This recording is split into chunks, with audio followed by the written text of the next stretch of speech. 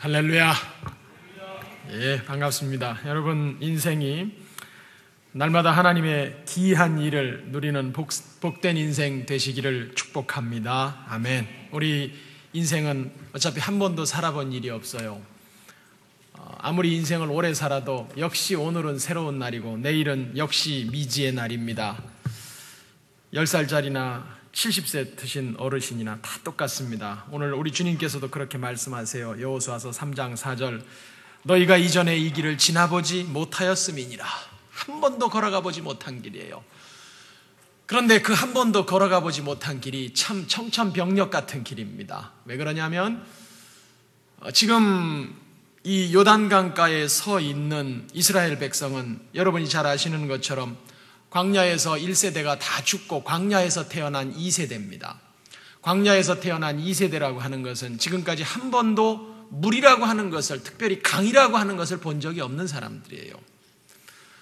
마른 땅을 걸어가는 것은 잘 걸어왔습니다. 태어나서 지금까지 한 일이 그거밖에 없지 않아요. 그러나 물을 건너가야 된다는 것은 이분들의 인생에서 이분들의 삶 앞에서 한 번도 겪어보지 못한 난공불락입니다. 어떤 문제보다도 어려워요. 물이라고 하는 것을 본 적도 별로 없을 뿐더러 이렇게 많은 물을 본 적도 별로 없고 그것을 그 물을 또 건너가야 된다는 것은 이거는 상상조차 해본 적이 없는 그런 상황. 이런 일을 왜 하나님이 우리 앞에 두실까? 우리 인생도 그렇지 않습니까? 비슷할 것 같은데 새롭고. 어, 뭐, 그러지 않아요? 산 넘어 산이라고. 근데 산 넘어 산이면 경험이 있어서 좀 쉽게 건너가면 좋을 것 같은데. 그게 또 그렇지가 않네요. IMF 끝나면 다 끝났을 줄 알았는데, 뭐, 로만 브라더스가 한 번 또 오니까, 또 그 다음에 또 뭐, 세계 경제가 한 번 요동칠 때마다, 그뭐 그냥 그게 그거 같은데 사람들 입에서 나오는 표현은 전혀 새로운 문제처럼 느껴져요. 맞아요. 그게 인생인 것 같습니다. 이전에 이 길을 지나보지 못하였습니다. 이전에 한 번도 겪어보지 못하였습니다. 하나님은 왜 이스라엘 백성 앞에 이전에 한 번도 지나보지 못하고 이전에 한 번도 겪어보지 못한 문제를 두시는 것처럼 여단강을 건너가라고 말씀하실까? 그리고 이스라엘 백성으로 하여금 꼭 그 길을 지나쳐서만 가야 되게. 요단강을 돌아갈 수가 없잖아요. 가나안을 들어가기 위해서는 반드시 여기를 통과해서 지나가야 되는데 아 이거 통과 안 할 수 없나? 돌아갈 길도 없고 멈출 수도 없고 뒤돌아가자니 다시 광야로 가서 홍해를 건너 애굽으로 들어가야 되니까 그건 더 말도 안 되고 딱 한 가지 방법 앞으로 가는 길밖에 없어요. 우리 인생도 그렇지 않아요? 뒤로 물릴 수가 있습니까? 돌릴 수가 있습니까? 되돌이킬 수가 있나요? 특별히 예수 그리스도 안에서 예수님 믿기로 작정한 우리의 인생이 야 이거 뭐 인생 앞에 신앙생활 하려니까 이런 어려움이 좀 있고 이런 고민이 좀 있고 이런 스트레스가 좀 있고 뭐 그렇다고 이걸 다시 뒤로 물려요? 여러분 다시 걸어가다가 지옥으로 돌아갈래요? 그런 사람은 없어요. 다시 애굽으로 돌아갈래요? 절대 그렇게 할 수 없어요. 그러면 결국은 앞으로 향해서 달려가야 되죠. 하나님, 왜 이런 일을 우리 앞에 두셨습니까? 왜 요단강을 두셨습니까? 하나님이 말씀하세요. 두 군데서 말씀하시는데 10절을 한번 같이 보겠습니다. 10절. 하나님이 말씀하세요. 또 말하되 살아계신 하나님이 너희 가운데 계시사 족속들 다 빼고 끝으로 갑니다. 너희 앞에서 반드시 쫓아내실 줄을 이것으로 너희가 알리라. 아멘. 이스라엘 백성아, 예. 이제 요단강 건너면 어디에 도착하냐? 꿈에 그리던 젖과 꿀이 흐르는 가나안 땅에 도착합니다. 그럼 그 땅에서 그 땅을 누가 정복할래? 네가 정복할래? 아니면 내가 정복하게 해줄까? 네가 싸워서 이길래? 아니면 내가 싸운 승리를 너희 손에 붙여줄까? 글쎄요, 저희는 광야에서 태어나고 군사훈련이라는 받은 적도 없고 뭐 우리 손에 칼이 있는 것도 아니고 창이 있는 것도 아니고 그야말로 양 모는 막대기밖에 없는데 그런 걸 가지고 저 철병거를 가지고 있는 가나안 땅에 난공불락 같은 일곱 족속을 쫓아낼 수가 없지, 않, 없지 않습니까? 하나님이 다 아시잖아요. 그래. 그러면 내가 해주마. 여러분 잊지 마십시오. 하나님이 말씀하세요. 뭐라고? 내가 해주마. 하나님이 왜 요단을 건너게 하시나? 그거를 알았으면 좋겠다. 신앙생활을 출발하면서 여러분 어떤 이런 하나님의 임재와 하나님의 도우심이 여러분 속에서 꼭 갖고 있는 강력한 무기가 되실 수 있기를 축원합니다. 그게 있어야 돼요. 그게 있어야 돼요. 제가 어쩌냐게 말씀드렸잖아요. 저는 굶어 죽을 거 절대 걱정 안 한다고. 왜? 하나님이 먹여 살려주셨어. 하나님이 살려주신 걸 아니까. 하나님이 한두 번도 아니고 여러 번 그렇게 인도해 주신 것이 그냥 이론이 아니고, 그냥 문자가 아니고, 그게 현실이에요. 실제예요. 체험이에요. 역사예요. 하나님이 그렇게 하셨지. 예. 그러면 앞으로 너 걸어갈 때 내가 하나님께서 그렇게 하시니 안 하시니 하세요. 그러면 돈 떨어질 때마다 무슨 생각하니? 아, 하나님이 또 주실 거구나. 요단강 건너는 문제가 이스라엘 백성이 가나안 정복하는 첫 번째 중요하고 어려운 사건이지만 가장 중요하고 어려운 사건입니다. 그러니 여기서 그걸 꼭 누려라. 뭐냐? 내가 너와 함께 하지? 예. 내가 너에게 승리를 주, 주었지? 예. 그럼 앞으로 네가 문제 만날 때마다 무슨 생각해야 돼? 예. 하나님이 함께 하세요. 하나님이 나에게 승리를 주세요. 그게 신앙이에요.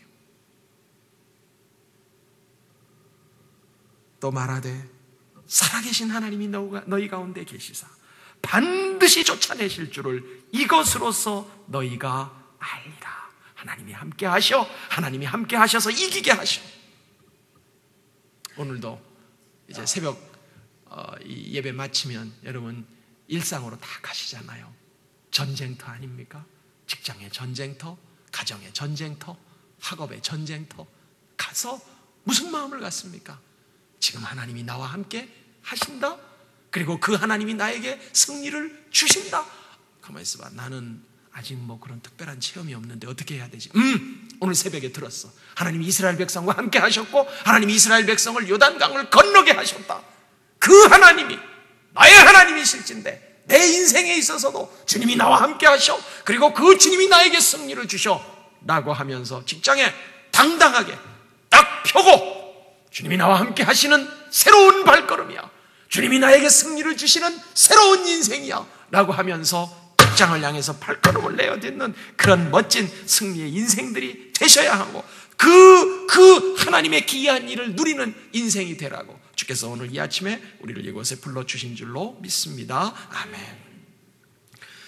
하나님이 요단강을 건너게 해주신다고 하시면서 두 부류에게 조금 다른 말씀을 하세요. 하나는 백성에게 하시는 말씀이 있고 하나는 백성의 지도자인 제사장들에게 말씀하시는 게 있습니다. 우선 백성들에게 하시는 말씀이 오늘 본문에 나옵니다. 3절부터 저희가 먼저 보겠습니다. 백성에게 명령하여 이르되 너희는 레위 사람 제사장들이 너희 하나님 여호와의 언약궤 매는 것을 보거든 너희가 있는 곳을 떠나 그 뒤를 따르라 따라가라. 그런데 사절에 그러나 너희와 그 사이 거리가 2천 규빗쯤 어, 1규빗이 한 45cm라고 봤을 때 한 900m, 뭐 한 1km쯤 떨어져서 따라가라. 그것에 가까이는 하지 말라. 그리하면 너희가 행할 길을 알리니 너희가 이전에 이 길을 지나보지 못하였음이니라 하니라. 이 첫 번째예요. 하나님이 백성아, 요단강을 건널 텐데 어떤 삶의 자세를 가져야 되는 줄 알았냐? 라고 말씀을 하세요. 무슨 말씀을 하십니까? 첫 번째, 경외함으로 말씀을 따라가라. 첫 번째예요. 하나님의 말씀을 따라가라. 언약궤를 따라가라. 한 번도 안 가본 인생길에서 무엇이 너의 지침이냐? 하나님의 말씀이 지침이다. 그런데 이 말씀을 따라가는데 아무렇게나 방자하게 가까이에서 따라가지 말고 경외함으로 어느 정도요? 900m 정도 거리를 띄우고 따라가래요. 900m 정도. 여러분, 이 하나님의 말씀을 대할 때마다 어떻게 대하십니까? 하나님은 우리와 임마누엘로 가까이 계시지만 하나님은 우리가 아닙니다. 하나님은 하나님이시고 하나님은 천지를 창조하셨고 하나님은 전능하시고 하나님은 영광 가운데 거하시는 분. 너와 나는 달라. 하나님과 우리는 달라요.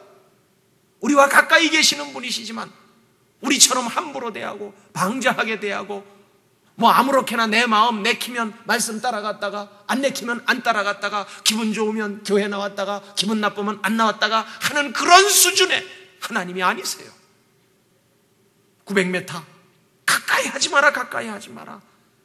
차별성, 거룩성, 초월성이 우리 하나님에게 있습니다.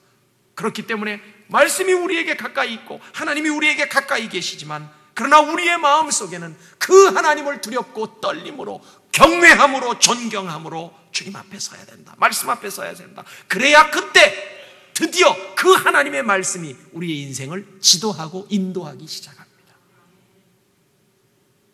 늘 언제나 우리에게 가르쳐 주시고 말씀을 주세요.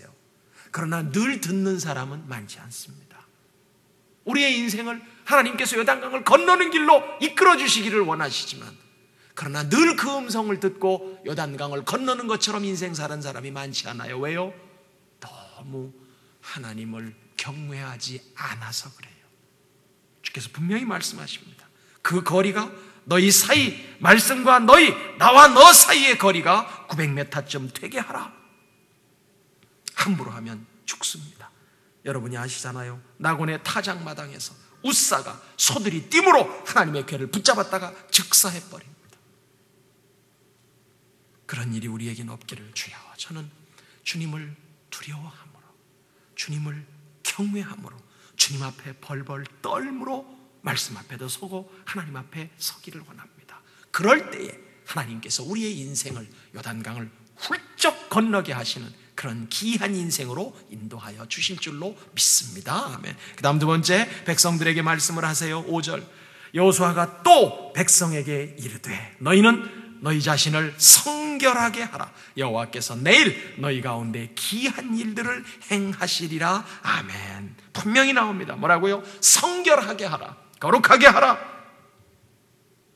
하나님이 백성들 사이에 임재하시고 함께 하시면서 기이한 일을 일으키셔야 되는데 상황은 다 어둡고 상황은 다 힘들고 세상은 죄악 가운데 빠져 있지만 그러나 하나님의 능력 하나님의 임재가 나타나기 위해서는 하나님의 특성을 가진 하나님의 그 능력과 은혜를 흘려 보낼 수 있는 전기 같으면 도체라고 그러나요? 전기를 흐르게 하는 통로가 있어야 되는데 그 전기를 흐르게 하는 하나님의 능력을 흐르게 하는 하나님의 영광을 흐르게 하는 통로 중의 통로가 뭐냐? 거룩입니다.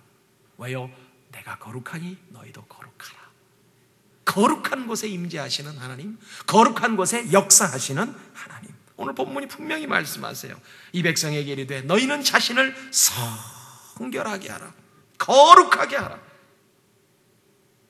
하나님이 함께 할 것이고 능력은 내가 행할 것이고 기적은 내가 행할 것인데 너희는 내가 임할 수 있도록 해줘라. 여러분 우리 개인의 인생이 이렇게 하나님의 임재가 나타날 만큼 거룩한 것에 힘쓰고 있습니까? 힘써야 돼요. 닦아야 돼요. 잘라내야 돼요. 죄악을 근접하지 말아야 돼요. 또 우리의 셀 그룹이 그럽니까? 만나면 거룩한 얘기, 만나면 하나님 얘기, 만나면 십자가에 관한 거, 만나면 보혈에 관한 거. 교회가 그렇습니까? 만나면 하나님의 어떻게 하면 우리가 좀 더 뭘 잘하자, 뭘 능력 있게 하자, 우리가 뭘 발휘해 보자 아니요. 일을 행하시는 여호와, 그것을 지어 성취하시는 여호와. 이 일을 하나님이 하시고 하나님이 지어 성취하세요. 우리는 우리가 하는 게 아니고 우리는 주님의 임재가 있도록 만들고 우리는 주님이 우리와 가까이 하실 수 있는 자들로 주 앞에 서면 되는데 그것이 뭐냐? 오늘 본문에 말씀하시는 것처럼 너희는 너희 자신을 성결하게 하라. 옷을 빨아라. 마음의 옷을 빨아라. 심령의 옷을 빨아라. 깨끗하게 해라. 정결하게 해라. 그때 내가 함께 하면서 요단강 물도 너희 앞에서 아무것도 아닌 것으로 만들어 줄 것이다. 거룩한 백성 되시기를 축원합니다. 아멘. 이게 백성을 향해서 말씀하시는 거예요. 그 다음에 우리 하나님께서 백성에게만 말씀을 하시는 게 아니고 사실은 그 백성을 이끌고 가야 하는 지도자들을 향해서도 말씀을 하십니다. 그러면 아 이제 나는 오늘 아침 새벽 설교는 이것으로 끝났다. 왜냐하면 나는 지도자가 아니니까. 그러나 여러분 꼭 기억하셔야 돼요. 예수 그리스도 안에서 예수를 믿는 우리는 하나님께서 보시기에 이 세상 앞에 지도자들입니다. 이 세상을 살리고 이 세상을 세우고 이 세상을 인도해 내야 할 지도자들이에요. 그러니까 여기 지금 지도자들을 향해서 말씀하시는 것도 아 저거는 우리 교회 목사님을 향해서다 저거는 우리 교회 장로님을 향해서다 저건 저거는 우리 교회 중직들을 향해서다 아니요 나는 아무것도 직분이 아무것도 없지만 그러나 하나님은 나를 온 열방과 세상의 지도자로 그분들을 인도해 내야 할 왕 같은 제사장으로 이미 불러 주셨습니다. 볼까요? 15절부터 어, 보겠습니다. 요단이 곡식 거두는 시기에는 항상 언덕에 넘치더라. 괴를 맨 자들이 요단에 이르러 괴를 맨 제사장들의 발이 물가에 잠기자. 곧 위에서부터 흘러내리던 물이 그쳐서 사르단에 가까운 매우 멀리 있는 아담 성읍 변두리에 일어나 한 곳에 쌓이고 아라바의 바다 여매로 향하여 흘러가는 물은 온전히 끊어짐에 백성이 여리고 앞으로 건널세 여호와의 언약궤를 맨 제사장들은 요단 가운데 마른 땅에 굳게 섰고 그 모든 백성이 요단을 건너기를 마칠 때까지 모든 이스라엘은 그 마른 땅으로 건너갔더라. 이게 이제 강이 마를 때의 상황입니다. 지금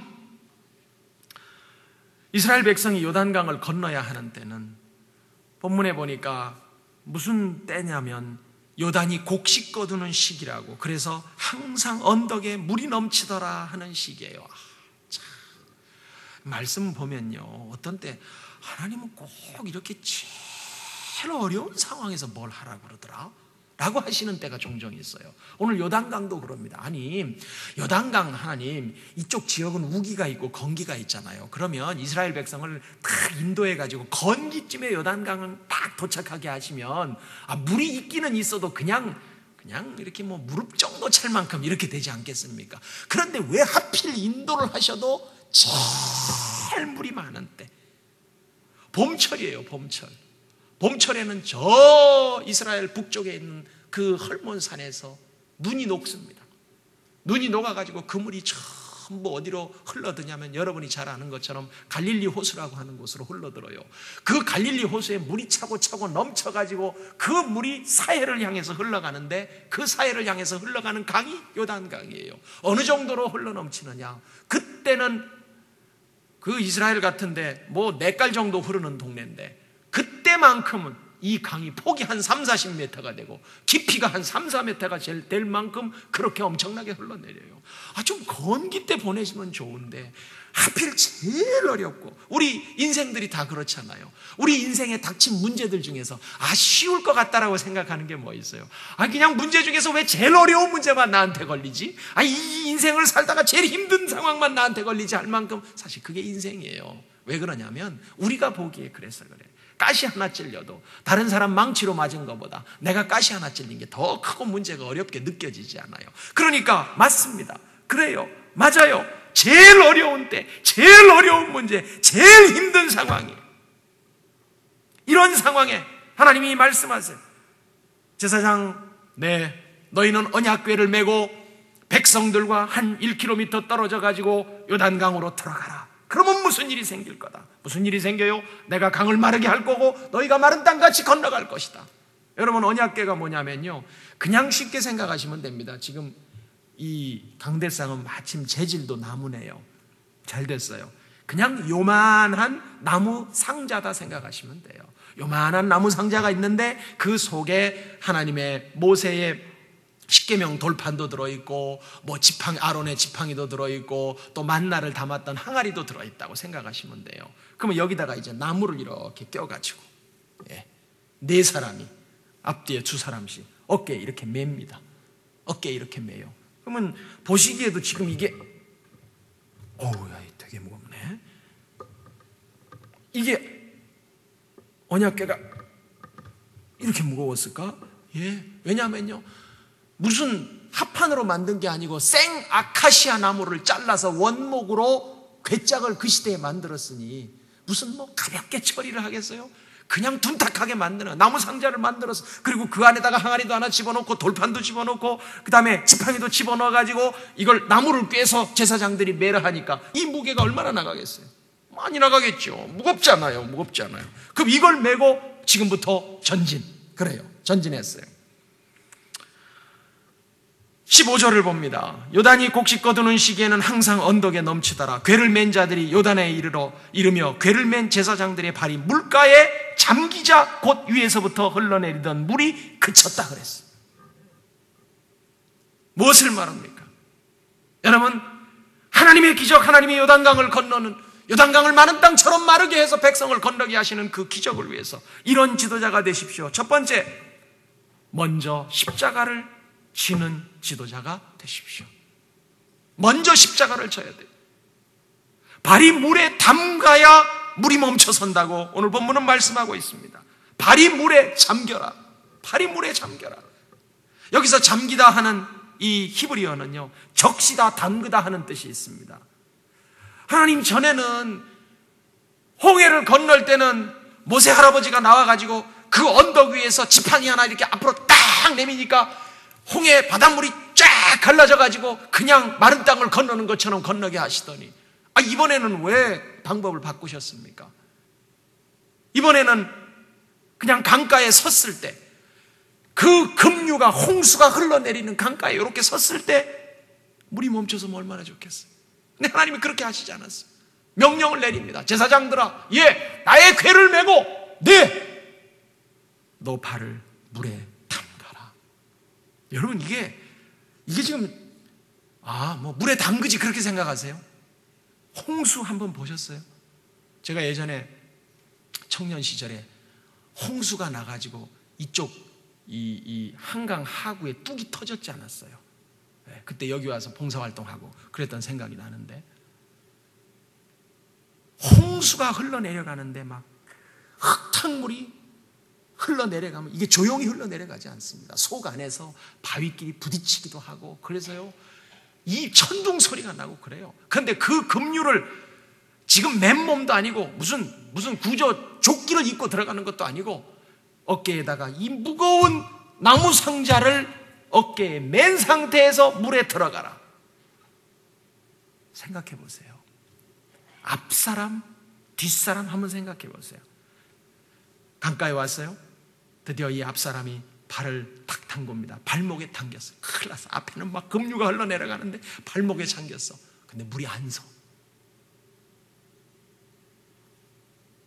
여러분, 여기서부터 여기까지 거리가 있어요.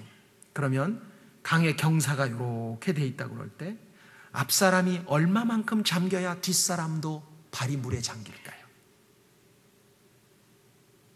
요 정도 거리라고 생각하면 앞사람이 얼마만큼 물 속에 들어가야 뒷사람도 발목까지 물이 잠길까요?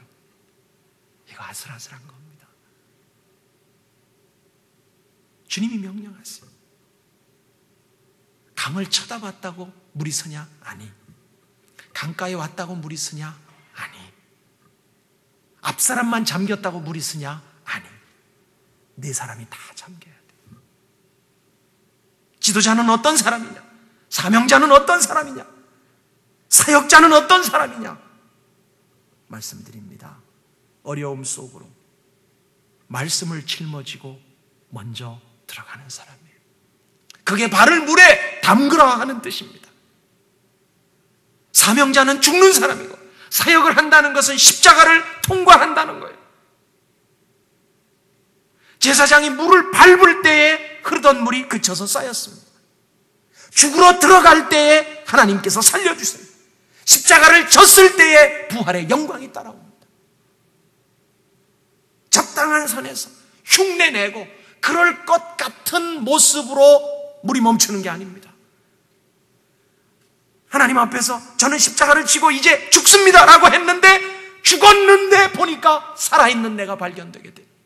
사역을 향하여 하나님의 나라를 향하여 복음을 향하여 뭔가 짊어지고 분명히 물 속에 들어가서 빠진 것 같았는데 가만히 보니까 어이 다 들어왔나? 어 물에 잠겼네. 야 그럼 이제 우리는 떠내려가게 생겼네 하고 보니까 아래를 쳐다보니까 물이 있는 게 아니고 마른 땅에 내 옷깃에 젖었던 물방울이 한 방울씩 땅으로 떨어지는 기적을 바라보는 거예요. 어떤 지도자가 돼야 하는가? 우리는 어떤 왕 같은 제사장이 돼야 하는가? 발을 물에 담그는 먼저 십자가를 치고 들어가는 멀리 서 있는 저 1km 밖에 있는 구경꾼이 아닙니다. 저 사람들은 우리가 빠져 죽어도 도와줄 수도 없어요. 빠져 죽는 모습 보았다 그러면 이미 우리는 떠내려가고 끝났어. 그 상황에서는 누가 나를 지켜줄 것이냐? 누가 나를 붙들어 줄 것이냐? 그러나 여러분 걱정하지 마십시오. 이 제사장 네 명이 지고 있는 것이 있습니다. 뭘 지고 있습니까? 법궤를 지고 있습니다. 법궤가 뭐예요? 하나님의 말씀이에요. 법궤가 뭐예요? 하나님의 임재예요. 나를 죽으라고 들여보내시는가? 아니, 내가 너와 함께 한다는 것을 보여주고 싶다 하는 것이 하나님의 마음입니다. 나를 물속에 빠지라고 지금 이 일을 하게 하십니까? 하나님이 이 어려, 목사님 이런 어려운 사역을 저한테 맡겨주셔서 저를 보고 어떻게 하라는 겁니까? 하나님이 말씀하세요. 어렵지? 그렇기 때문에 내가 너와 더 가까이 있는 거고, 어렵지? 그렇기 때문에 내가 너를, 너에게 더 큰 기적을 보여줄 것이다. 나의 임재를 믿느냐? 나의 함께함을 믿느냐? 너가 짊어지고 있는 게 뭔지 아느냐? 너가 짊어지고 있는 게 법계고, 너가 짊어지고 있는 게 말씀이고, 너가 짊어지고 있는 게 나의 임재다. 여러분 이런 기적, 이런 지도자로서 하나님의 축복과 은혜를 누리는 주님, 제가 제 발을 물에 담그겠습니다. 내 인생 앞에 놓여져 있는 요단강물을 그치게 하여 주시옵소서. 주님, 제가 제 발을 물에 담그겠습니다. 우리 가정 앞에 놓여져 있는 엄청난 문제처럼 보이는 상황을 주께서 멈추게 하여 주시옵소서. 주님, 제가 제 발을 물에 담그겠습니다. 그럴진데 우리 교회 앞에 놓여져 있는, 우리 공동체 앞에 놓여져 있는 요단강 물 같은 그런 상황, 그 물들이 벌떡 일어나서 저쪽에 가서 쌓이는 은혜. 그래서 우리는 마른 땅을 건너는 것처럼 그렇게 문제와 상황을 건너가는 역사를 주여 허락하여 주시옵소서. 아멘. 그 다음 또 한 가지 있습니다. 17절에 보면 16절에 백성은 여리고 앞으로 건너가는데 여호와의 언약궤를 맨 제사장들은 요단 가운데 마른 땅에 굳게 서 있다 그럽니다. 언제까지 서 있어요? 17절에 그 모든 백성이 요단을 건너기를 마칠 때까지 모든 이스라엘은 마른 땅으로 건너갔더라. 마른 땅으로 건너 백성은 계속 건너가요. 그래서 물이 멈췄어요. 그리고 이 제사장들이 괴를 메고 강 가운데 서 있습니다. 네 명이라고 서 있습니다. 그리고 물이 저쪽에 가서 막 이렇게 쌓여. 어, 이, 이 내부가 아주 좋습니다. 물이 지금 이렇게 우리 저 떡 쌓듯이 그 뭐예요? 이렇게 떡 이렇게 이런 거 쌓잖아요. 이렇게 탁 쌓아가지고 시위에 찌듯이 물이 한 칸 탁 쌓여. 조금 있으니까 흘러내리던 물이 두 번째 칸으로 쌓여. 조금 있으니까 또 세 번째 칸으로 쌓여. 또 네 번째 칸으로 쌓여. 쫙 쌓여 올라가는 거예요. 예. 그리고 이쪽은 이제 마른 땅이 됐어. 그래서 제사장 네 명이 괴를 메고 서 있습니다. 백성들이 막 건너기 시작해요. 여러분, 마른 땅을요, 200만 명이 건너가고 있어, 지금. 200만 명만 건너가는 게 아니고, 양무리도 같이 건너가지, 동물떼들 건너가지, 뭐 이삿짐 들고, 이고 지고, 막 그냥, 또 이런 상황에선 사람들이 급해집니다. 그렇잖아요. 살겠다 해가지고 막 뛰고 난리가 났어. 난리가 났어. 200만 명이 요단강을 건널려면 몇 시간이 걸릴까? 저 북쪽에는 물이 자꾸 높이 올라가요. 자꾸 높이 올라가. 200만 명은 와 하면서 건너가고 있어요. 제사장들은 가만히 서 있어요. 뭘 말씀하시고 뭘 요구하시는 걸까? 저는 이 말씀 볼 때마다 하나님 제가 꼭 이런 사람이 되게 해 주옵소서. 그리고 하나님 아, 제 주변에 우리 지도자들이라고 하는 중직들이 또 우리 성도님들이 꼭 이런 사람이 되게 해 주옵소서 하는 간절한 마음을 가지고 지금도 그 간절한 마음을 가지고 이 부분을 특별히 증거를 합니다. 무슨 모습이에요? 여러분 여러분이 이런 나무 상자를 네 사람이 같이 메고 학교 운동장 가운데에서 한, 한 4시간만 서 있다고 생각해 보세요. 무슨 상황입니까? 옆에서 애들은 막 축구하고 공 차고 난리가 났어. 햇볕은 쨍쨍 내리쬐고 있어. 그런데 그저 오늘 같은 날, 뭐 한 섭씨 한 30도, 34도 되는 날 학교 운동장에서 여러분이 이런 거 네 명이 메고 그냥 가만히 서 있다고 생각, 아무것도 안 해. 아무것도 안 해요. 처음에는요, 물이 멈춘 게 그런 기적일 수가 없습니다. 그렇죠? 네. 그런데 시간이 점점 지나, 점점 지나니까 이게 어깨를 누르기 시작합니다. 어깨를 누르기 시작하니까 피곤하면 이 등 뒷줄로 뭐가 막 땡기기 시작하잖아요. 뒤꿈치까지 땡기고 어깨는 빠질 것 같고. 그래도 옆에를 보니까 백성이 아직 건너가고 있어요. 그러니 이거 나 움직일 수도 없고 내려놓을 수도 없는 거야. 그냥 그러고 서 있는 거예요. 한 시간 지나 아직도 많이 남았네. 두 시간 지나 아이고 이제 택도 없네. 세 시간 지나 어, 한 반쯤 간 것 같네. 네 시간 지나 이젠 세고 싶지도 않아. 왜요? 이렇게 되잖아요. 이렇게 이렇게 어떻게 하면 좋아? 처음에 물이 멈춰섰을 때는 할렐루야 하나님 그랬는데 이 물이 저쪽에서 자꾸 쌓여 올라가는 거예요. 점점 점점 점점 점점 올라가요. 야 이게 물이 처음에는 기적이었는데 나중에는 뭐가 됩니까? 여러분 처음에 물이 쌓일 때는 기적인데 이게 점점 점점 쌓이고 3시간, 4시간, 한나절, 반나절 계속 쌓여 올라가요. 나중에 무슨 생각이 들어요? 저거 무너지면 나 어떻게 되냐? 그리고 또 하나 있어. 아니, 이 백성들은 그래도 우리가 처음에 와가지고 발에, 발을 물에 딱 담가서 물이 멈추게 해주고 자기들이 건너가면 지나가다가 아유, 제사장님 힘드시죠. 그 여기 물이라도 있는데 좀 한 잔 드실래요? 아, 제가 먹던 이, 이, 그 떡이 있는데 한, 좀 한 조각이라도 드실래요? 이러고 가면 좋은데 이 백성들은 전부 나 살자고 먼지 내면서 지나가요. 그러니 그 먼지 옴싹 내가 다 먹어야 돼. 배는 고프지, 목은 마르지, 햇볕은 쨍쨍하지, 먼지는 들어오지, 저 물이 언제 무너질지 모르는 그 공포가 밀려오기 시작하지. 서 있을까요? 갈까요? 계속 서 있어야 되나요? 포기해야 되나요? 이게 본문의 상황입니다.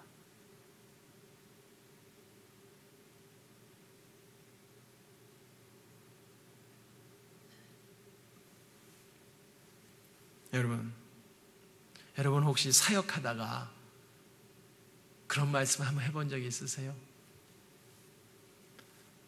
목사님, 어깨 괜찮으세요?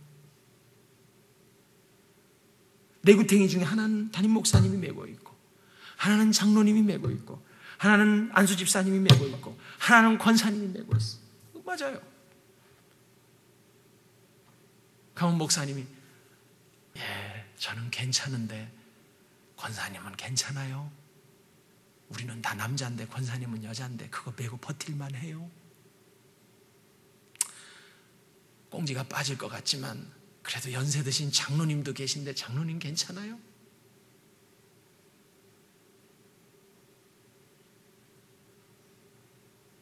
내가 내려놓고 싶지만 200만 명이 살아야 되는데 내가 포기하고 싶지만 온 교회 성도가 살아야 되는데 우리가 그만두고 싶지만 온 땅에 죽어가는 저 60억 저 사람들이 예수 그리스도 안에서 구원받고 서야 되는데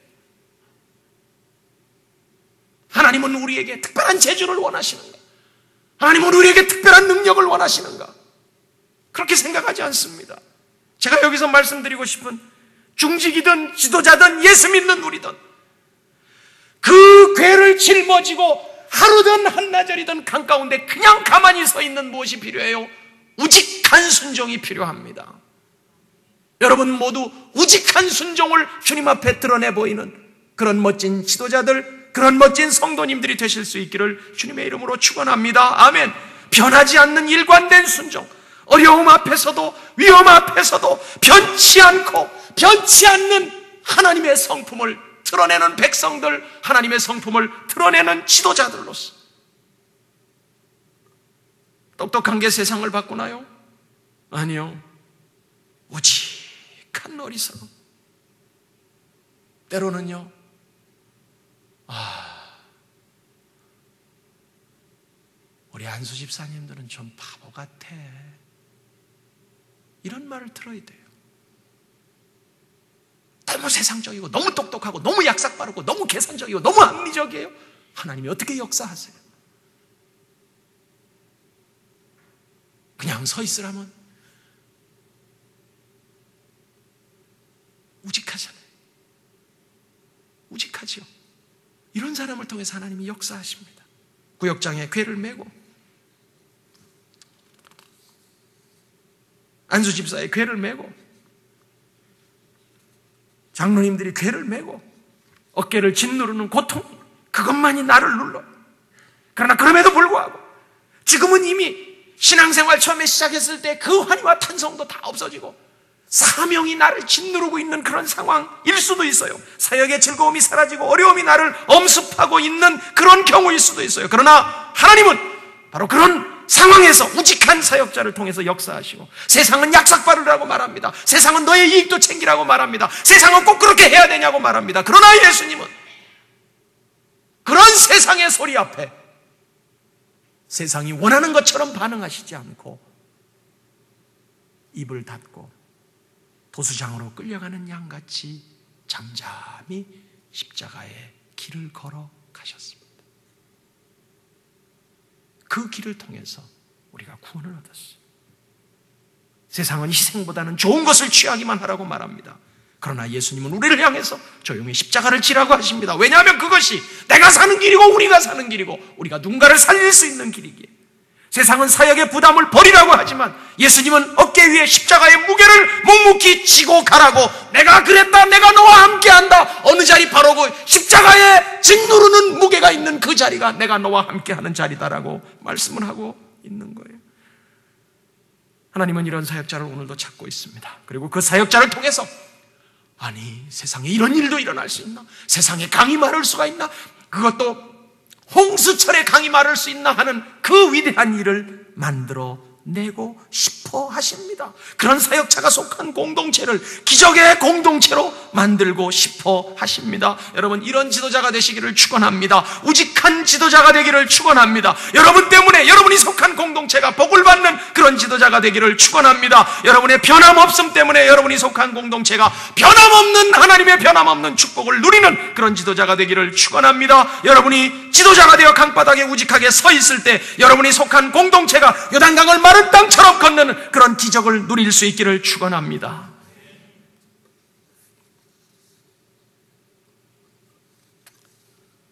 주여 제가 오직하게 서 있겠사오니 우리 공동체가 요단강을 건너게 하여 주시옵소서. 주여 제가 오직하게 서 있겠사오니 우리 공동체가 요단을 건너게 하여 주시옵소서. 아멘. 지도자들 형식으로 흉내로가 아니고 정말 발을 물에 담그는 십자가를 지는 지도자들이 되셔야 되고 지도자들 사람들이 어떻게 보든 어떻게 생각하든 내 백성 하나님이 구원하시고 하나님이 넘어가시기를 기뻐하시는 그 200만 명이 다 넘어갈 때까지 내가 맨 마지막에 가장 처음 들어왔지만 내가 맨 마지막에 건너는 자가 된다 할지라도 하나님 앞에서 주님 제가 우직하게 강 가운데에서 굳게 서겠습니다. 제가 설교 제목을 뭐라고 정하냐면요. 네 명이면 됩니다. 그렇게 정합니다.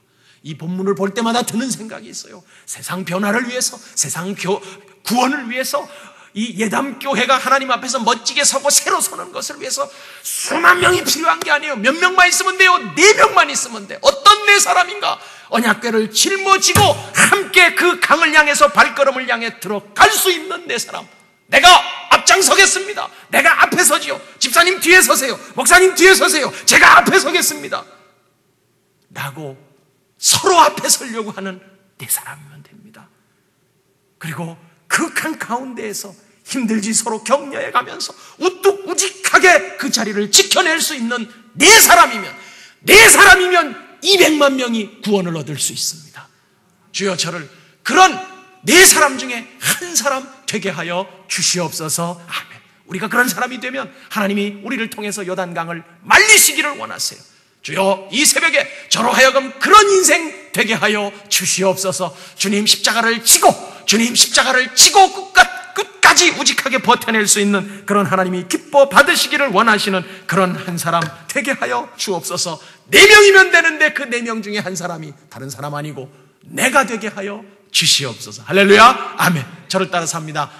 내가 되게 하여 주시옵소서. 예, 여러분 가정에, 여러분 인생에, 여러분 교회에, 여러분 공동체에 요단강이 마르는 놀라운 기적이 날마다 새롭게 부어지시기를 주님의 이름으로 축복합니다. 아멘. 우리 같이 한번 머리 숙여 기도합니다.